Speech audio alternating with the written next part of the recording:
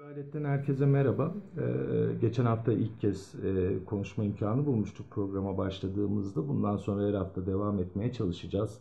5 e, dakikada ne kadar sığarsa işte Türkiye'nin e, insan hakları gündemini, bir haftalık adalet gündemini, yargı gündemini tartışmaya çalışacağız. E, bu hafta e, belki geçen haftada da biraz ihmal ettiğimiz bir konu, e, biraz detaylarını da yeni öğrenebiliyoruz. Adalet Bakanlığı'nın yaptığı enteresan bir toplantı var. Belki onunla başlamak lazım. Ee, bakanlık e, birçok insan hakları kuruluşuna, kişiye, savunuculara bir çağrı yaparak e, geniş kapsamlı bir toplantı e, düzenledi ve burada yeni yargı reformu öncesinde, AB ile görüşmeler öncesinde nelerin yapılması gerektiği konusunda önerileri, düşünceleri aldı. Birçok kurumun gitmediğini biliyoruz, birçoğunun gidip görüş belirtmediğini de biliyoruz. Görüş belirtenler de var, çok ciddi biçimde hazırlanıp ee, ama daha e, önemlisi tabii bakanlık ne yapacak? Buna bakacağız. Ee, bu sadece AB'ye işte onların da görüşlerine başvurduk denilen bir süreç mi? Yoksa gerçekten olası bir yargı reformu ki hazırlanacak onu biliyoruz ee, onun parçası olacak öneriler olacak mı? Ee, hani gönül ister ki sivil toplumun görüşleri çok dikkate alınsın ama her zaman gönlümüzün istediği gibi olmuyor elbette. Ancak takip edeceğiz bu süreci. Ee, bir önemli başlık e, bana kalırsa e, üstünde durulması gereken Gülsüm Elvan, Berkin Elvan'ın annesinin e, bir eylemde kolunun kırılması gözaltına alındığı sırada polisler hakkında açılan davaydı. Mahkeme şüpheden sanık yararlarının ilkesi gereğince Gülsüm Elvan'ın kendi kolunu kırmış olabileceği düşün düşüncesiyle polisler hakkında beraat kararı verdi. Tabi yargının bize söylediği bir şey hani gözaltına alınırsanız olası bir eylemde kolunuzu kırmamaya özen gösterin. Çünkü hani bunu olsa olsa kendiniz yapmış olabilirsiniz. Bunu anlıyoruz yargı kararından. Ve hani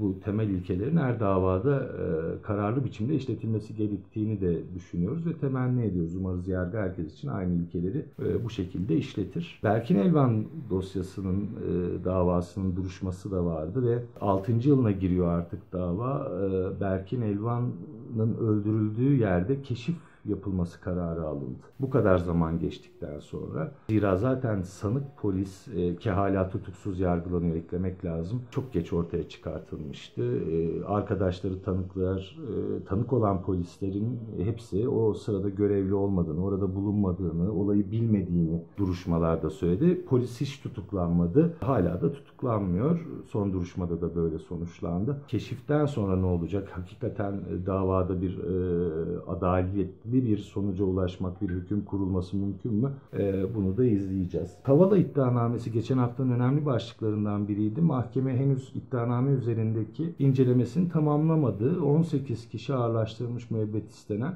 Neyle suçlandığını hala bilmiyor. Mahkeme kabul edecek mi? Delilleri yeterli görecek mi? E, bir kulis aslında zayıf da olsa konuşuluyor. Mahkemenin iddianameyi iade edebileceği ve e, daha fazla kanıt isteyebileceği yönünde. Bakalım önümüzdeki hafta yasal süre 15 günlük sürede olacak. Ee, nasıl sonuçlanacağını göreceğiz bu incelemenin. Bana kalırsa mutlaka üzerinde durulması gereken geçen haftadan bir başlık Fikret Başkaya değerli bilim insanı hakkında açılan terör örgütü propagandasından açılan davaydı. Bence nedeni niçin tartışmaya bile gerek yok. Ee, hani bizler çocukken Fikret Başkaya yargılanıyordu, soruşturuluyordu, tutuklanıyordu. Ee, o günden bugüne ders vermek dışında, düşüncelerini aktarmak dışında hiçbir şey yapmadı. Şiddetle hiçbir ilişkisi olmayan, hiçbir yasa dışı organizasyonla, yapıyla bağlantısı bulunmayan çok değerli bir bilim insanı ama 2019'da e, halen yargılanmaktan, soruşturulmaktan, e, zaman zaman gözaltına alınmaktan kurtulamıyor. Dileyelim ki Fikret Hoca ve benzer bilim insanları düşüncelerini ısrarla, hakim ideolojiye aykırı olsa bile ısrarla söylemeye devam eden bilim insanları bu yargı kıskacından kurtulurlar. Tabi rutin olarak e, Barış için akademisyenler davaları vardı. Bu hafta gene geçen haftaki gibi, ondan önceki haftalardaki gibi e, aynı suçu işleyen e, akademisyenlere farklı cezalar verildi. E, bir bölümünün cezası ertelendi. Önümüzdeki haftada böyle olacak. Gariptir hepimiz çok garip, çok üzerinde tartışılması gereken bir dava yargılama süreci izliyoruz BAK davalarında. Eskişehir ve Ankara davaları da başladı. Hocalarla ilgili nihai tablo muhtemelen hukuk tarihine geçebilecek nitelikte olacak.